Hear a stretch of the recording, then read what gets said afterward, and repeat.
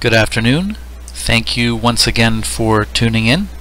I came across a video by Colm Gibney is his name. He made a great video on star forts.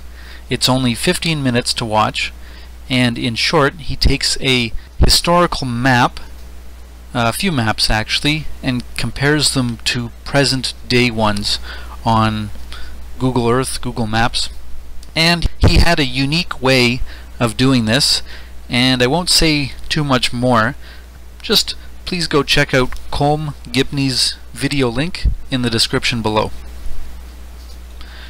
Okay so today I would like to talk about Uzbekistan. And if you're like me I didn't know much about Uzbekistan.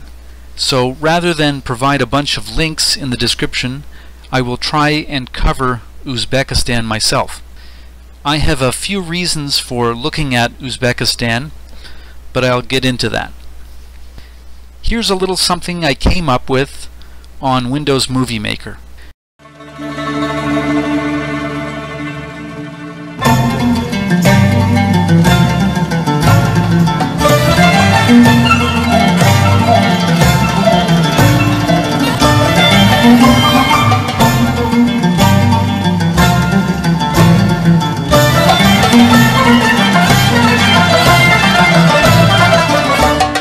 Uzbekistan, officially also the Republic of Uzbekistan, is a doubly landlocked sovereign state in Central Asia. It is a secular, unitary constitutional republic comprising 12 provinces, one autonomous republic, and a capital city. Uzbekistan is bordered by five landlocked countries, Kazakhstan to the north, Kyrgyzstan to the northeast, Tajikistan to the southeast, Afghanistan to the south, and Turkmenistan to the southwest. Official history. And I took this off Wikipedia and shortened it just a little bit. What is now Uzbekistan was in ancient times part of the Iranian-speaking region of Transoxiana. The first recorded settlers were Eastern Iranian nomads known as Scythians who founded kingdoms in Khwarezm Bactria, Sogdia, Fergana, and Margiana. Forgive me because I probably said at least a few of those wrong. It was part of the Persian Empire until the Muslim conquest in the 7th century. The local Khwarezm or Khwarezmian dynasty and the Central and Central Asia as a whole were decimated by the Mongol invasion in the 13th century. After the Mongol conquests, the area became increasingly dominated by Turkic peoples. The Turco-Mongol warlord Timur, also known as one of Genghis Khan's grandchildren, is tied to the history of the country. Uzbekistan was gradually incorporated into the Russian Empire during the 19th century, with Tashkent becoming the political center of Russian Turkestan. In 1924, the Constituent Republic of the Soviet Union, known as the Uzbek Soviet Socialist Republic, was created. Following the breakup of the Soviet Union, it declared independence as the Republic of Uzbekistan in August of 1991. Now, I'm not an expert on Uzbek history, but as you know, on my channel, I've had reason to question the historical timeline of events. My main reason for being suspicious of official history is because of evidence of mud flood. Mud flood, an obscure event or events which happened in the past, leaving a uniformly distributed layer of soil or dirt over all habitable land. When and how it happened remains a mystery, but it is generally supposed to have happened around the 1840s and 1850s. Official history has neglected mention of a mudflood event, and yet widespread evidence of mudflood is apparent in virtually every major city on Earth. Cataclysmic destruction of innumerable cities on Earth can be found if one spends the effort to look at early photography. The Chicago Fire of 1871 is but one example. So when I read Uzbekistan's history that it was once peopled by eastern Iranian nomads known as Scythians, and then later it was decimated by Turco-Mongol warlords, I get a little bit suspicious. What grabs my attention is that one civilization was replaced by another. But I'm not the only one saying these things. Sergei Ignatenko is a Russian language YouTuber that speaks on this subject. I don't want to misquote him, so I'll leave a link for him in the description below. You'll have to open up his video and open up the transcript and then use your internet browser to translate it into English. It does take a little bit of work. Now, the last thing I am questioning is the people that live in present-day Uzbekistan. That's not my point. But I am suspicious of official history. As I just mentioned, mud flood evidence has got me questioning everything I thought I knew. But also, there has been a lot of recent discussion about a lost empire. Some say Atlantis. Others are looking to old maps where in bold letters Tartaria appears across the landmass between Moscow to the Pacific Ocean. Today, we know this as the territory of Russia. How much can you say you know about this land? Google tells me that Russia covers one-eighth of the world's land surface. Personally, I have to plead ignorance when it comes to what goes on in places like, well, Uzbekistan. But why have I chosen to discuss Uzbekistan today?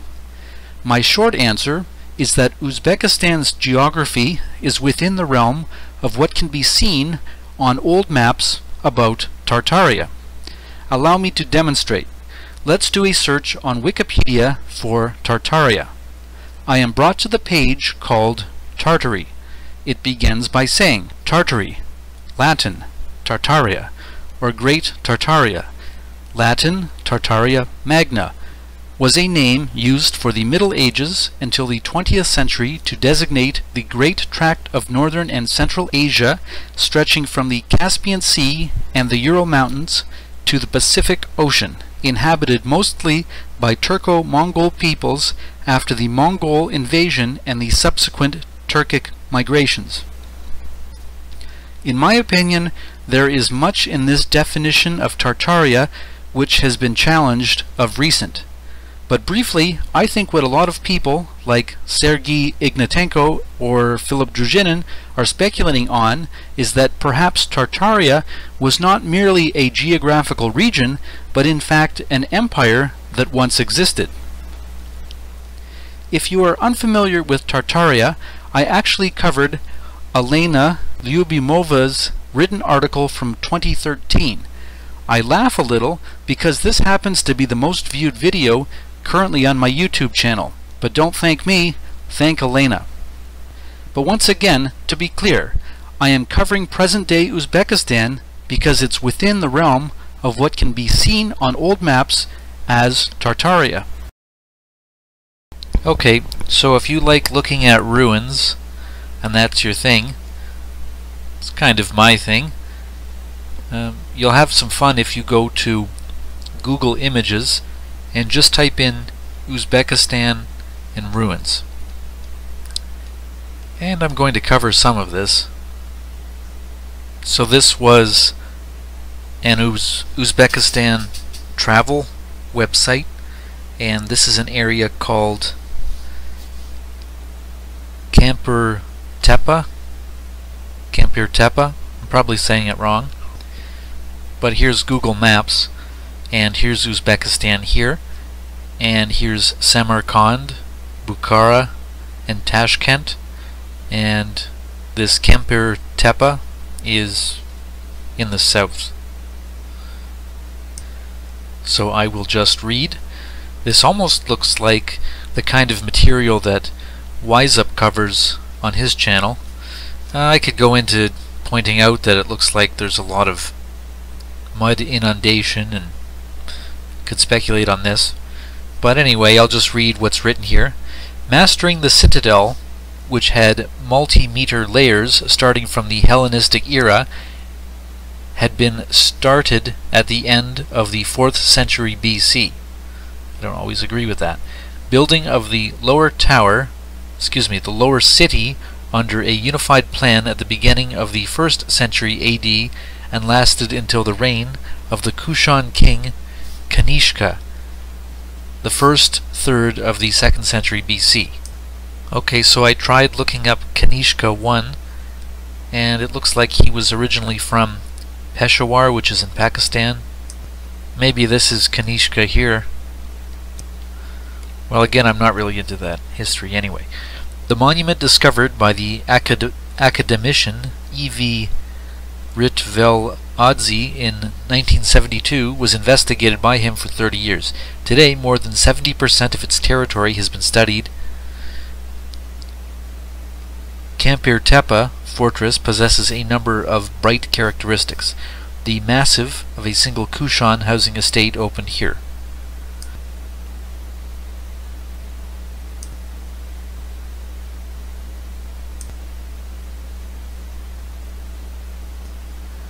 On this website they more or less have the dates of these ruins at like around the first century AD and BC and just before that time.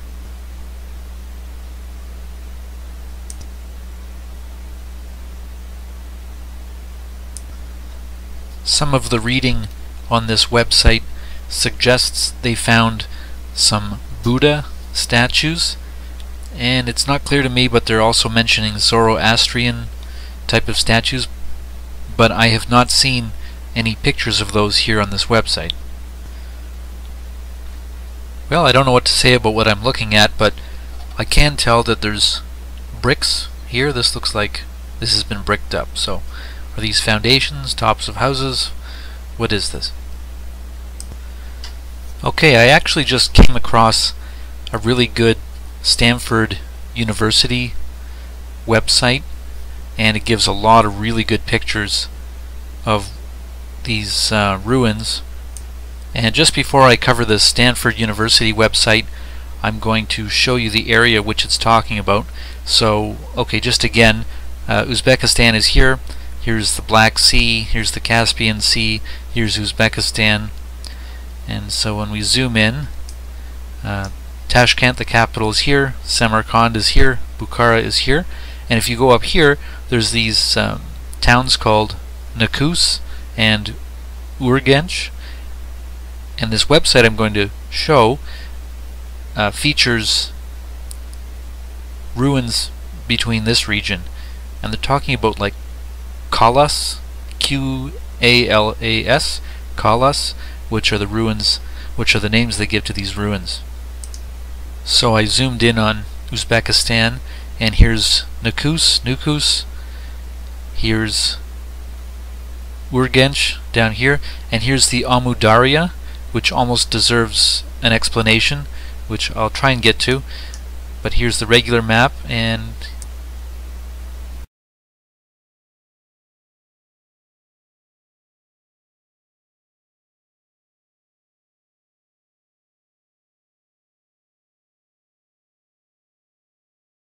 try and read this information really quickly. Uzbekistan, April 2018, so this is a few months ago. Kalas of Karakol, Pakistan. And I know historically looking at maps of Tartaria, there is an area called Karakol. So anyway, Kalas of Karakol, Pakistan. The country of Uzbekistan is politically divided into 12 provinces, Andion, Bukhara, Fergana. One capital city, Tashkent, and one autonomous republic. The latter is the rather mysterious Karakol Pakistan, sometimes called the Forgotten Stan, located in the far west of Uzbekistan, while Karakol Pakistan is much larger than any of the 12 Uzbek provinces, most of it is a barren flat desert, but on its southeast this desert is dotted with a number of old ruined fortresses, kalas. How can that be? Thousands of years ago, the Amu Darya, which is the major river that actually runs along the border, the southern border of Uzbekistan, thousands of years ago, the Amu Darya River did not flow into the Aral Sea, that's a desert today, more or less, but into the Caspian Sea during the second millennium BC. Let me show you a map. So here's Uzbekistan here, and this is the Caspian Sea. Here's Transcaucasia. You've got the Black Sea, the Cas or the Transcaucasia, Caspian Sea, and here's the Caspian, and up here are the uh, is the Aral Sea, and it's pretty much turned into a desert. You can even see it here. So they're saying this Amu Darya, which runs actually along the border of Uzbekistan, used to flow into the Aral rather than the Caspian. They're saying something like that. So this is a typical image of what the Aral Sea looks like today. Sorry if I'm repeating myself, but I'll start reading again. Thousands of years ago, the Amu Darya River did not flow into the Aral Sea, which is a desert with, you know, deserted ships, but the Caspian Sea, which is the bigger sea to the west. During the second millennium BC, it changed direction. Well, I don't know about the history, and instead flowed into the Aral Sea. It then watered a region that became fertile and increasingly populated well into the first millennium AD. Most of the Kalas, these are their fortress names of these deserted fortress ruins, most of the Kalas have been built during this period to control the region and protect the agricultural settlements from nomad raids. Some may have been fortified residents, others pure military barracks. However, by the end of the 9th century, the Amu Darya changed course again, still flowing into the Aral Sea, forcing the population to leave some areas for lack of irrigation water. Numerous kalas, that's these ruins of stone fortresses, numerous kalas had to be abandoned and the land around them became a desert. An excellent reference to Karakalpakstan, its people and the kalas by David and Sue Richardson can be found here. Well, maybe that's worth clicking on. Much of the information given below was drawn from this reference uh, map showing the approximate locations of the sites I visited, red dots. Their presence coordinates can be downloaded by clicking here, I won't, and opening the download KMZ Google Earth file. Okay, again, uh, here's Nukus, and down here is Urgench, and I suppose the red dots are all the sites of these fortresses that the author has gone to. So Shilpik, Toprak, and Kazil, Ayaz, and Jambas. Okay, so once again, I'm just showing you a map, map of Uzbekistan, and the author of this particular website is in the area between Nukus and Urgench. So this is an aerial view. Toprak Kala. Toprak Kala means clay fort, which seems quite appropriate today. It was built sometime between the 1st and 2nd century. It forms a 500, well, it forms a big rectangle, hundreds of meters. Okay, uh, entrance of the High Palace from the northwest. So this is Toprak up here. It's kind of north of Urgench. Toprak.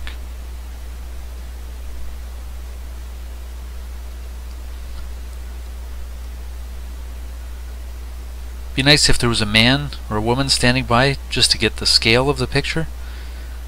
Again, Toprak.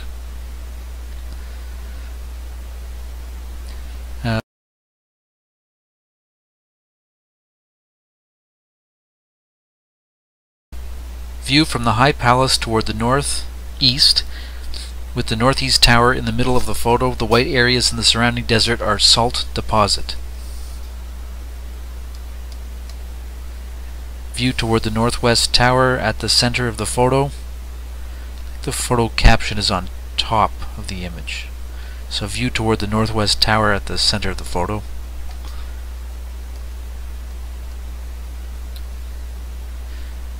Um, view from the High Palace toward the northeast corner of the enclosing high wall. Note again the salt deposits. I guess they're saying this is the salt deposits. I don't think that this was the Aral Sea. I don't know that that's what it's saying, that this used to be underwater. I have to look at the map again. The Aral Sea was much more north. This is not former Sealand, I don't think. Uh, Kizil Okay, so again on this guy's map, Toprak and Kizil, so we're still in this area. I've seen this word come up before. This is Kizil, Kizil Kala. So this is Kizil Kizil Kala. This Kala was also built between these centuries. It may have been restored during the 12th century prior to the Mongol invasion. Its horizontal size is thus, about 65 meters by about the same. Okay, so view of the southeast wall, which has been partially restored recently. One may not like the appearance of the rebuilt sections, but they protect the wall from crumbling farther down, further down. It also gives a better sense of the former majesty of the fortress. Okay, so yeah, they are restoring these ruins. I could leave a cynical comment about that, but what do I know?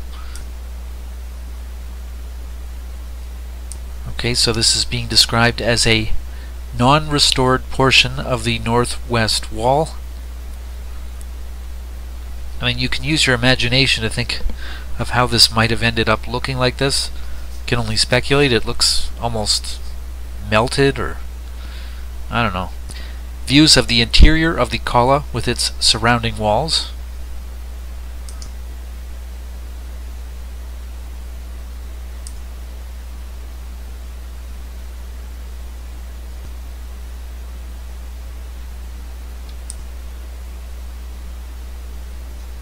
Okay, so I looked at the map again, and the we haven't covered it yet. We're getting there, uh, but the next place we're looking at is Ayaz, so it's a little bit northeast.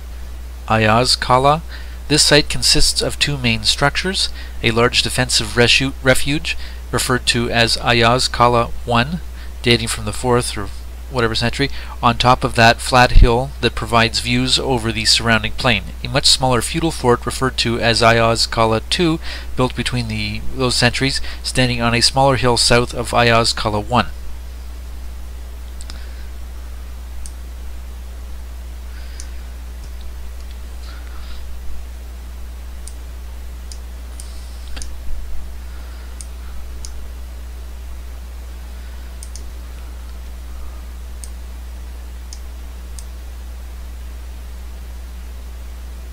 Views of the walls from the inside.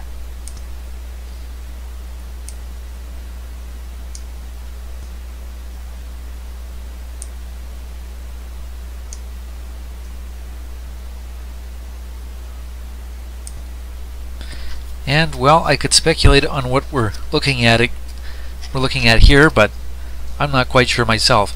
Views over Ayaz Kala 2 from the southwest corner of Ayaz Kala 1. So we're on the Ayaz Kala 1 and we're looking over to number 2. I couldn't help it. I went and Google image searched Devil's Tower, Wyoming. I'm not saying it's the same thing, but I just wanted to compare the image because it does look a little bit like a tree stump. And yet it's got windows. Okay, so the next one I guess we're looking at is Janbas Kala. Janbas Kala is the most impressive Kala I visited. As I arrived at the site quite late in the afternoon, the lighting was much better than for the previously visited Kalas. It has slightly twisted a rectangular layout and its walls measure up to 20 meters.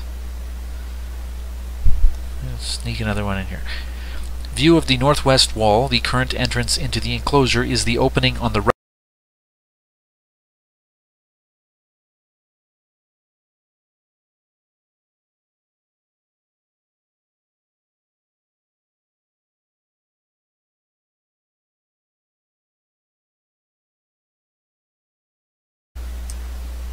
Okay, so back to our map here.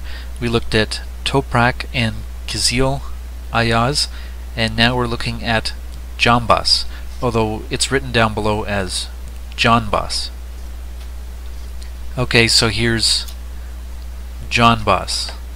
It's a little bit smaller, 200 meters by 170, 20 meter tall walls. View of the, the northwest wall, the current entrance into the enclosure is the opening on the right, but the former entrance was actually further to the left through an intermediate court th through an intermediate courtyard visible in the aerial photo. Wall of the entrance courtyard to take his word for it. View of the entrance courtyard view of the walls from the inside. The double walls contained at least two, probably three levels of archer galleries. Bows and arrows, okay. Don't know about that.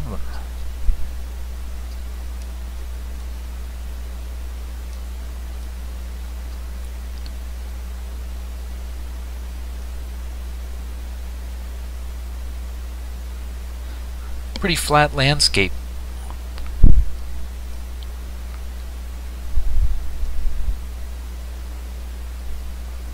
Okay, now we're looking at Shill Peak, or Chill Peak. For lack of a better place, I included this monument in the page despite the fact that it probably never served as a fortress, although it may look like one. Instead, it is believed to be a tower of silence, a dakhma, built by Zoroastrians for exposing dead bodies to the vulture's excarnation. Okay, I think maybe, okay. Excavations suggest that it has been used up to the time of the Arab invasion in the 7th century, that's the Muslim invasion, as Zoroastrianism was the official religion of the region prior to Islam. The approximately circular top of the tower has a diameter of 65 to 70 meters. So this is even smaller. So looking at this map again, this is Shil Peak, or Chill Peak, up here. It's along the Amu Darya. So this is the Shil Peak, or Chill Peak one. Uh, what is they? What are they saying? The tower seen from the base. Platform at the top with the Amu Darya River and Turkmenistan in the background. I guess this is the Amu Darya River. It's flowing through here, and this is Turkmenistan. This is the Amu Darya. This is the main page, and I will leave this as a link in the description below. And I'll probably look at this more myself later. These are just a few images that I pulled off of Google Images. So I'll go through them. This is Toprak Kala. That was actually in the website I covered.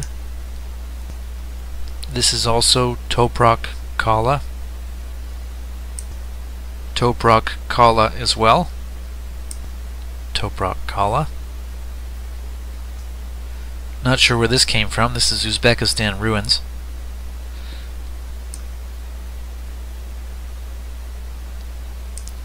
This is an image from Samarkand and this is one of the main mosques there. In fact, it's almost the major tourist attraction, if not in Samarkand, but in the whole country and I'm going to get to covering that more in a moment.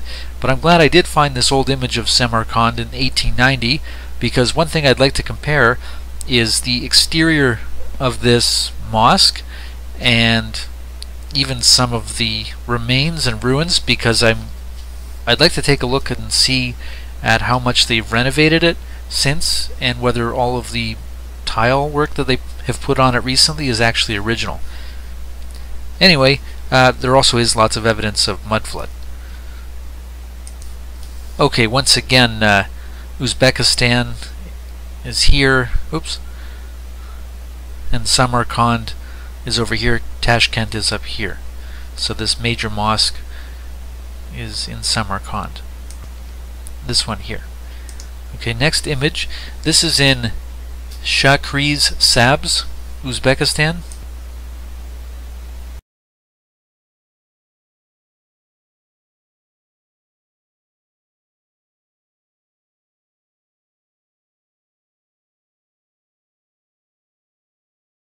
Where's my... So I looked up Shakri Sabz, Uzbekistan, and it's south of Samarkand. But this is one of the main ruins that I see is from this area. Shakri Sabz, Uzbekistan. Okay, and I just Google image searched Shakri Sabz.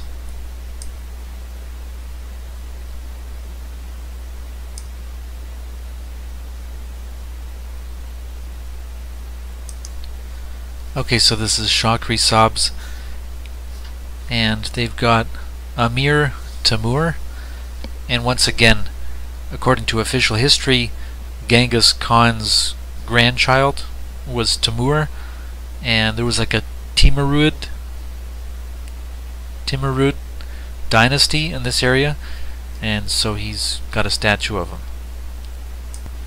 Okay, now I'm going to turn to covering some of the major cities in Uzbekistan.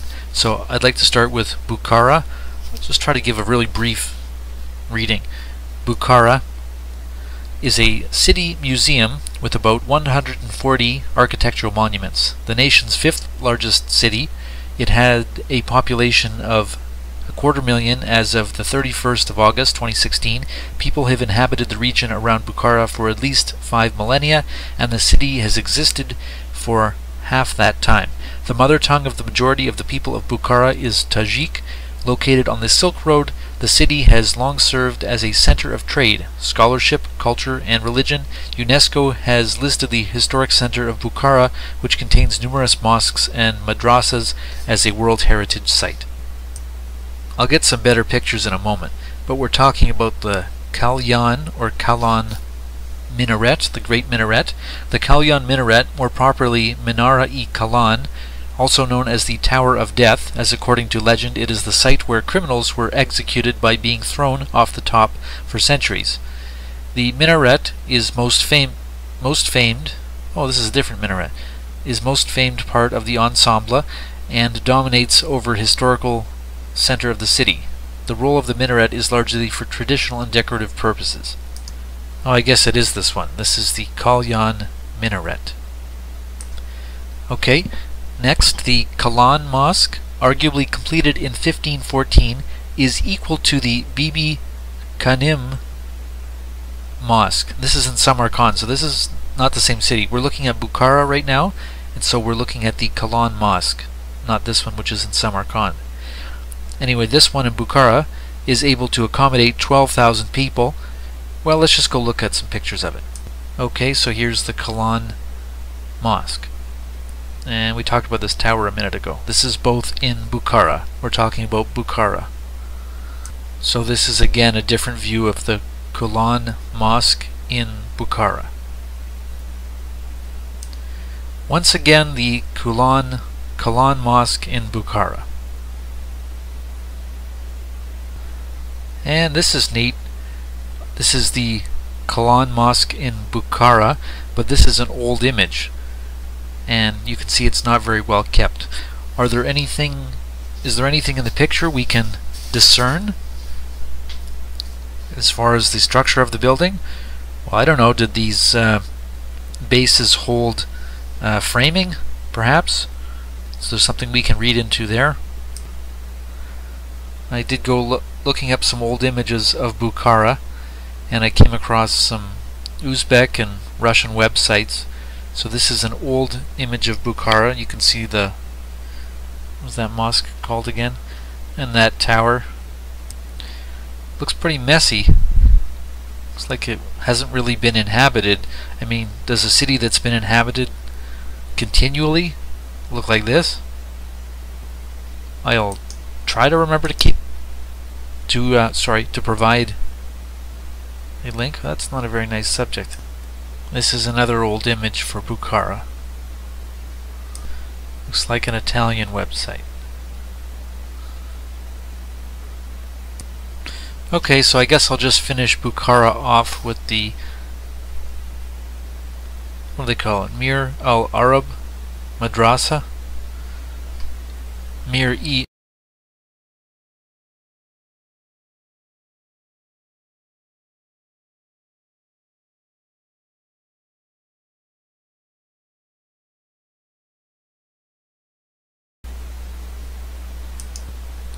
Okay, so just back to the map again on Google Maps. Um, the capital is up here, Tashkent, Samarkand, and Bukhara. We were just looking at Bukhara. And before that, when we were looking at ruins, we were looking between Nukus and Urgench. All the ruins, all these old kalas were in here, and the Amudarya runs along the border and down below the border here. So anyway, going to look at Samarkand. Okay, so very quickly, Samarkand, alternatively Samarkand, is a city in modern-day Uzbekistan and is one of the oldest continuously inhabited cities in Central Asia. Well, I'm going to look at some old pictures from the 1890s in a moment, and I'll tell you right now, I think that it may not have been continuously inhabited, at least by not very many people. Okay, there is evidence of human activity in the area of the city from the late Paleolithic era through though there is no direct evidence of when exactly Samarkand was founded. Some theories propose that it was founded between the 8th and 7th centuries. Okay, let's look at some major buildings. Okay, so the list is here of some of the main sites. Uh, the Registan, the Bibi Khanim Mosque replica. So it's been rebuilt. We're going to look at that in a second. Gur-e Amir and the Observatory of Ulugh Beg. So this is the Registan in Samarkand. And I looked up some old images from the 1890s and this is also the Registan in Samarkand.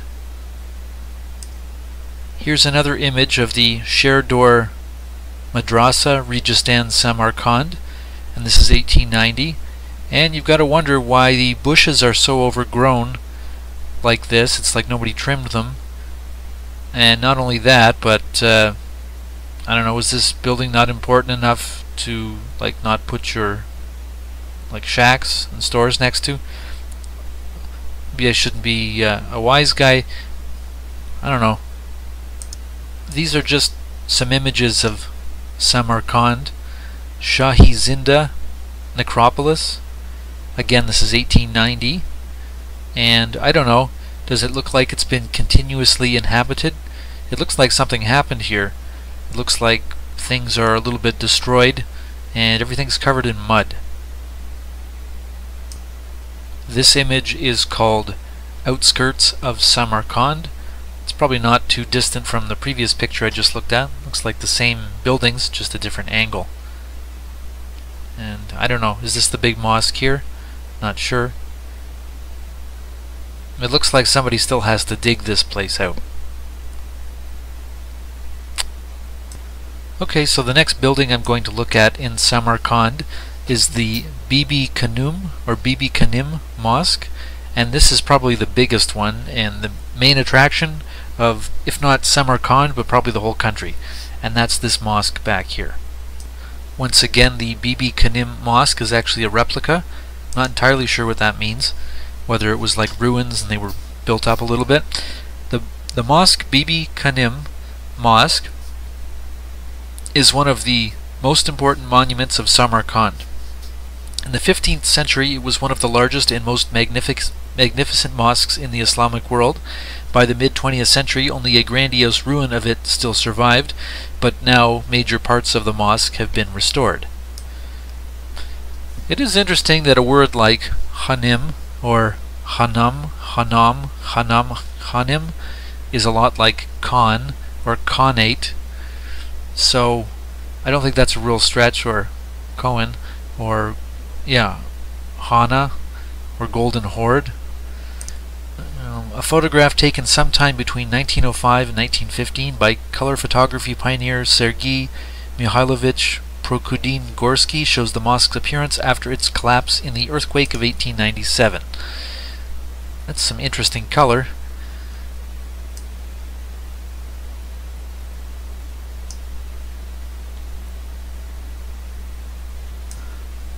Did okay. The, there is a caption: "The ruins of the mosque around the turn of the century, as depicted in Samarkand by Richard Karl Karlovich Zomer."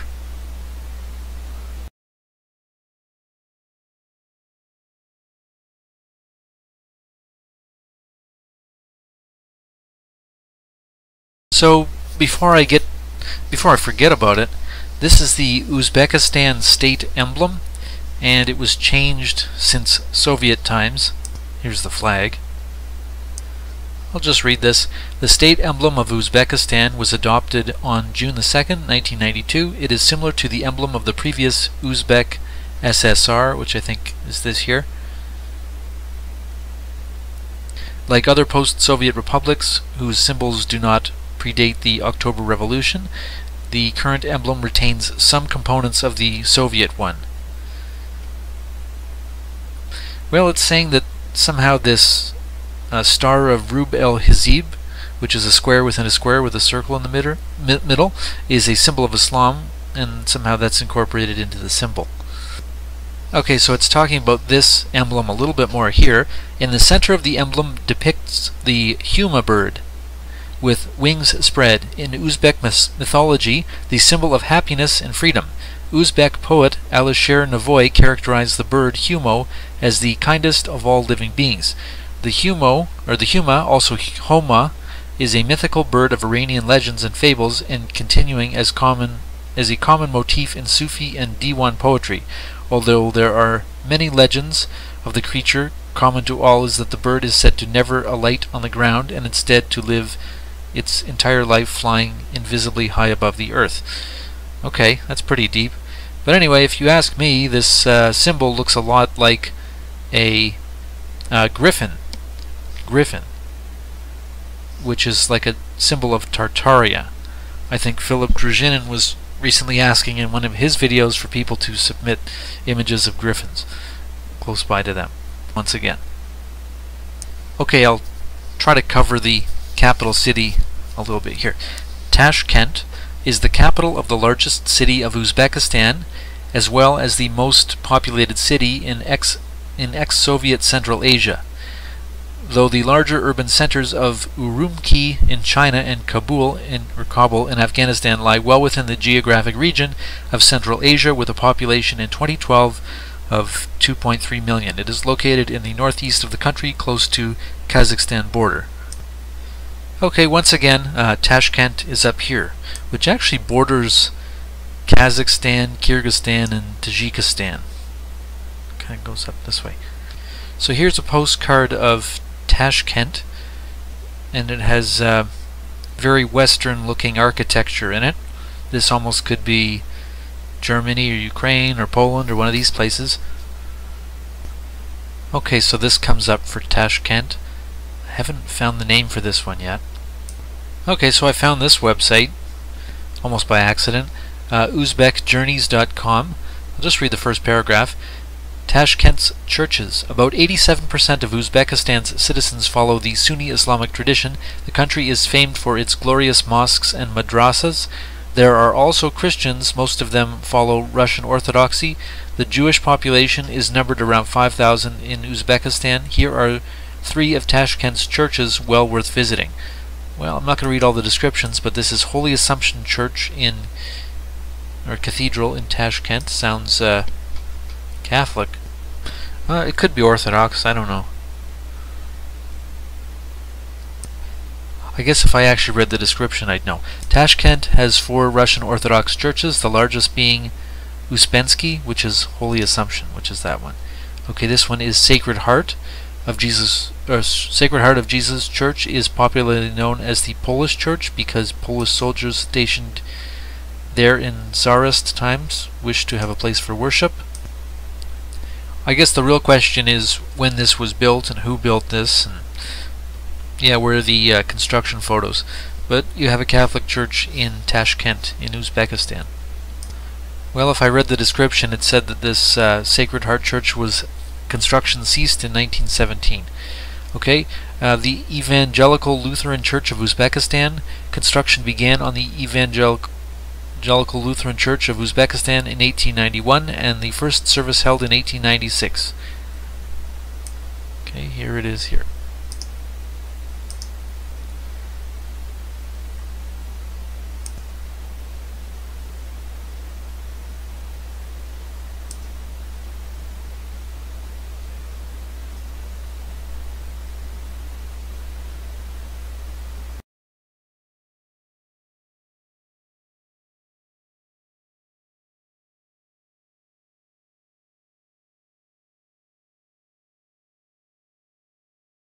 Okay, so I wanted to read about the Amu Darya as it actually runs along the border, the southern border of Uzbekistan.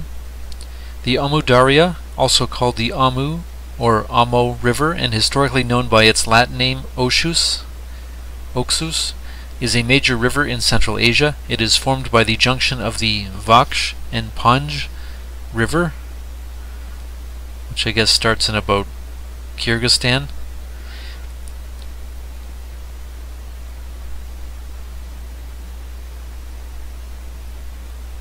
And flows from the north westwards into the southern remnants of the Aral Sea.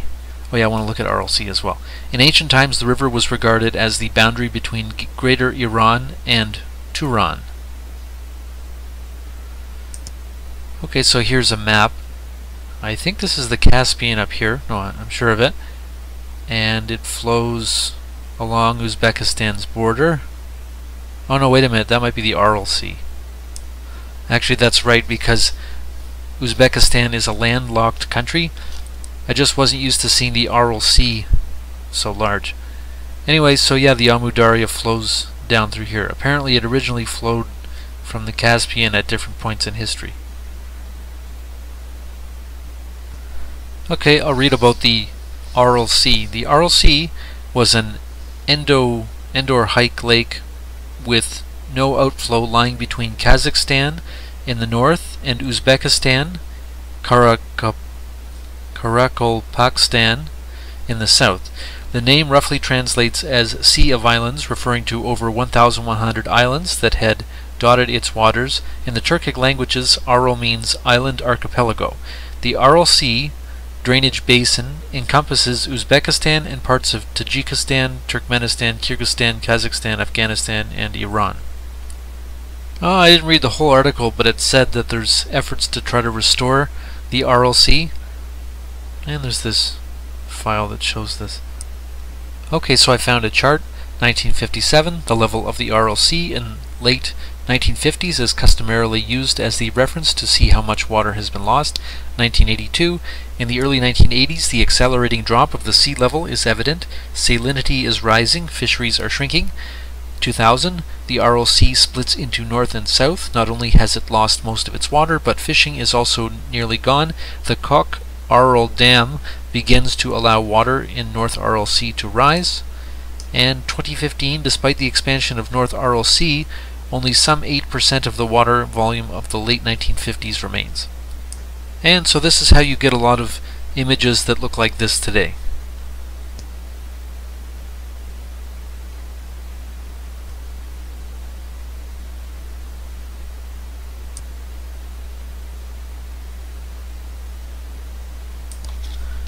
Okay, well, that almost wraps up all of the information I wanted to cover as far as the major cities in Uzbekistan. I know you can never really cover enough, but that's as much as I wanted to cover. Uh, one last point I wanted to tie in. The Bibi Kanim Mosque, which I guess is a replica, has this uh, exposed shape, and then of course there's a mosque in Bukhara that also has a similar style. Well, I'm not showing the best picture of it. Okay, so this'll do. This is the Bibi Kanim Mosque in Samarkand. And I just wanted to point out that these archways all um, kind of point to the center of this square. And the one in Bukhara is very similar to this. So I don't know. I'm not too sure what this device does, but using my imagination, it looks like maybe this isn't just architecture, but it actually served some kind of purpose. And I don't know, could this be sound reverberating back and forth and ultimately concentrating in the center?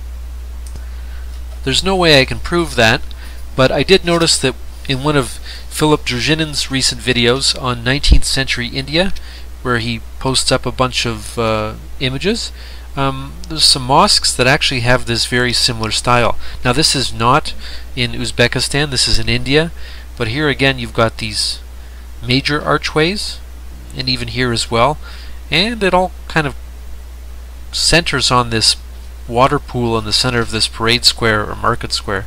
So just saying that this is actually some kind of style of building where they do it like this.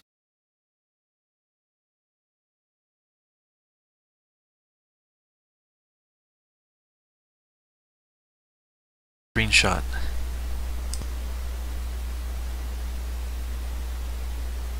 no, just saying that these images in India, these towers and things, look a lot like the ones, these buildings look a lot like what's going on in Samarkand.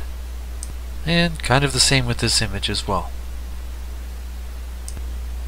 Okay, so this is one of the channels that I've recently been looking at and trying to study, and it's slow going because I don't speak Russian, but this is Sergei Ignatenko's website. And if you just look at some of the things that he discusses, you can translate it to English. He's talking a lot about Tartaria. And one of the videos in particular that I've been looking at is this one here.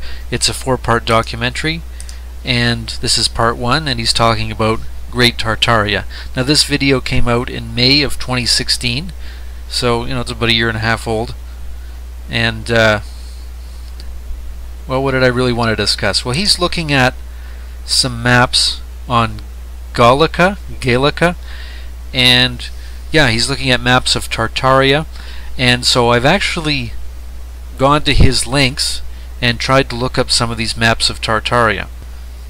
So I clicked on the eighth link down and I ended up getting this page and so what he's looking at here is well Martin looks at these books too but um, this is like the 1733 book and there's actually different editions of it, but a book like this has contained in it some maps of Tartaria. Let me just show the cover page. Try to get a zoomed in shot of this. So this is uh, hmm, La Galerie Agréable du Monde, où l'on voit et un grand nombre de so it's got like maps Anyway, of this book, what I'm particularly interested in, once again, whoops, there it is, are the maps of Tartaria. So there's page 46 and 47. So I'm just going to click on this one and open it up. And these are the Peter Vander Aar Vander A maps. So this is Tartaria. Uh, this the map is called Magni Chami Imperium, Mare Tartaricum, so that's the Tartaria river, lake, something. Anyway, um, here's the Caspian Sea here, and this is really what I want to look at. So on this map, we basically have uh, Uzbekistan. Of course, this map is from, oh, I better check the year. Okay, well this book was from 1733. I don't know when this map was from, but that's at least the date of the book. And yeah, we have a lot of questions about timelines and dates, so we never can be sure. But anyway, I'm just going to point out the three major cities on this map which I just covered. So I covered Bukharia, Samarkand, and Tashkent. So here's the Caspian. Doesn't look like the Aral Sea really shows up, but here's Bukharia or Bukhara, Bukhara, spelled a little bit differently. And here's Samarkand, and I guess Tashkent should be over here somewhere. Actually, I'm remembering that Tashkent really isn't coming up on this map. But, here's where I've been putting a little bit of effort into this. So, if this is Bu Bukhara, and this is Samarkand, how about all the other names on the map? Can we look into those and find out if all these other cities exist? Okay, so here's what I did. This is the exact same uh, number 46 map in the Vander A map on Tartaria. And I just, here's Bukhara, here's Samarkand, and just with the paint program I cut out all the city names and put them along the side here. Then with pencil and paper I wrote them all down and then I typed them out.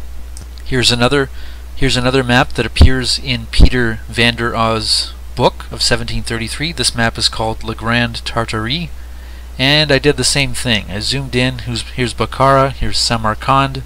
So this is map 47, or basically page 47 in the book, and I cut all the names out. Here's Samarkand, Bukhara, Tashkent appears on this one. Cut them out, and uh, I wrote them all down and typed them up.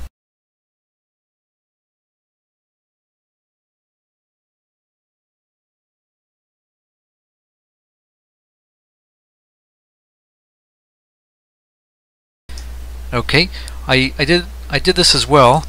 Okay, on the seventh link down, on Sergei Ignatenko's links, uh, he included another map, and I call this one the Scary Face map because unfortunately they've got these evil looking figures down here which I don't even really want to look at. But this is the Ioticus Hondius Gerard Mercator map. And Gerard Mercator the Mercatoria map I guess is probably from between 1512 and 1594 because those are the dates given for Gerard Mercator's life I think that's what that is but anyway once again uh, here's um, Uzbekistan. I was almost hoping to take the shape of Uzbekistan and superimpose it on top of this map just just to see what would happen.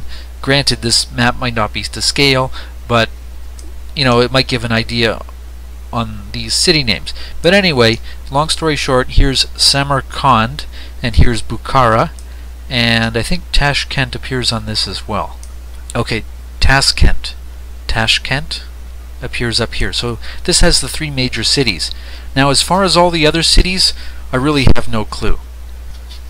You might you might accuse me for having too much time on my hands. That's actually not true. But um, this is the scary face map, Gerard Mercator and Samarkand, Bukhara, and once again I cut out all the city names. It's very quick and easy to do. Uh, stuck them here, wrote them down pencil and paper, and then I typed them out. Okay, so then I took all of these map names from View 46 map, View 47, from the Vander Aar map, and then the Scary Face map, and then I took all the names of the modern cities of Uzbekistan today, and I put them in a column as well. So now I can compare the historical names on these maps with the cities in Uzbekistan today. Right, so I did that. And I'm going to try and leave these in the description below somehow, although I think this is a lot of material to retype in the description. I'm only going to use a couple examples. I hope this isn't boring for people, but I'm going to use a couple examples. So there's this city called Taras, and it appears on this map, this map, and this map. Taras, uh, Taras, and spelled a little bit differently, Taras U Dalan. Now I don't want to get off track, but I, but I knew a Ukrainian guy with the name Taras. I'm not saying that's connected. But the problem is, is that when I went to look at the cities of Uzbekistan today, I did not see a Taras. Termez is... No, I don't see a Taras. Okay, I got distracted forgot where I was. Okay, but anyway, this is the scary face map, and here's Samarkand, here's uh, Bukhara, and above Samarkand is Taras up here, just to show you it's the scary face one, right? So this is the Gerard Mercator map, and Taras appears on it here. Oh, okay, so I think this is um, this is map 46 from the Vander book and Taras is actually up to the east but there is a Taras here. Okay so this is map 47 in the Vander Aar Tartaria map. I'll zoom out in a moment. Here's Samarkand here's Bukhara here's Tashkent spelt a little differently. And Taras u Dalan appears kind of up this way northeast. Okay, yeah, I said I was going to zoom out. So you can see this is the Le Grand Tar Tartary map. So that's only three different maps. I'm sure there's other um, Tartaria maps out there that I could look at, but that would be a lot more work. And that was just one example. Maybe I spent too much time explaining it. But anyway, yeah, uh, Taras does not show up as a modern city in Uzbekistan. Not that I can find. Maybe it's a small city, but uh, yeah, on this list of 66 different cities in Uzbekistan, Taras does not show up. One last example, Asko, Akzu, Aksmuma, or Aksu, shows up in all these old three maps, but it doesn't really seem to show up in the cities today in Uzbekistan.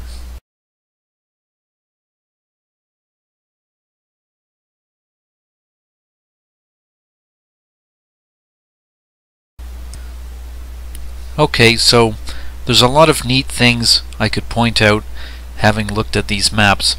The main purpose of what I was trying to do is to look at maps of Tartaria and to try and see if the city names match up with present day cities that we understand today. And this would provide some kind of continuity between these ancient cities and the modern ones we have today. And, well, this is kind of getting at Mudflood and Tartaria and, and, and trying to make connections. I haven't really explained it very well, but hopefully you can see what I'm doing. Uh, this is map 47, and I will point out that there are a few recognizable cities today, like this is Afghanistan down here. Interesting that they call this area the Indies, right? So I guess this is the East Indies. This is not India, but now when we understand the West Indies, well, this makes a bit more sense. But here's Kabul, Kabul, Afghanistan, Kandahar, yeah, I guess I just mentioned that. Um, but what was neat that came up is uh, Petit Tibet Royaume. This Royaume comes up a lot. I think it's almost like a royalty or like monarchy, like a kingdom almost. And there's a few other ones. But yeah, uh, Petit Tibet Royaume. But this is nowhere near Tibet. Just to show you, like Tibet is western China almost, and well, Turkmenistan's way up here. So to have places here called Little Tibet, is it the same? Could it just be a coincidence of names? Okay, so I'm all over the place with ideas. But these were the most interesting things I came across. So Sergei Ignatenko, in his video on Tartaria and the history of Siberia, starts talking about the different costume dress that was apparent in some of these areas, right? And one of the main things he starts talking about is this one here. Um, this is a Tibetan, a Tibetan, and one of the comments he's making is that, you know, Tibet today we understand as like Asian people, right? So could it be that in this illustration of like historical costumes that maybe they didn't know how to draw a European? Well, then he goes and shows some other images of some of the other cultures and he'll show that like no, if you look at like Koreans or some of the Chinese or Japanese um, depictions of people, it's like, no, in these images they actually look very Asian. So it's not like the author of this book didn't know how to draw European. But here you have a Tibetan, and he looks, well, if he doesn't look European, he looks maybe Turkish or something like that. But anyway, it is interesting that I that when I was looking at this Uzbekistan area of Tartaria on this number 47 map that there is a kingdom of Tibet that shows up. And this is the little kingdom of Tibet. So could there perhaps be a bigger kingdom of Tibet? Well, I'm not really sure. Actually, uh, Sergei Ignatenko kind of says the same thing about Koreans even. Uh, apparently it gets drawn as this European type of Азии figure. по привычке рисовал всех европейцами. Нет, это не так. Если But мы then, like, посмотрим look, на изображение Китая, this author of this costume book clearly knows how to draw Asians and Asian features. Like this is a Chinese person.